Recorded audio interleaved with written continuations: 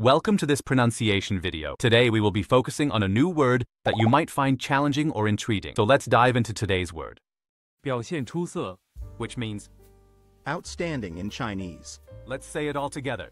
表现出色，表现出色，表现出色， One more time.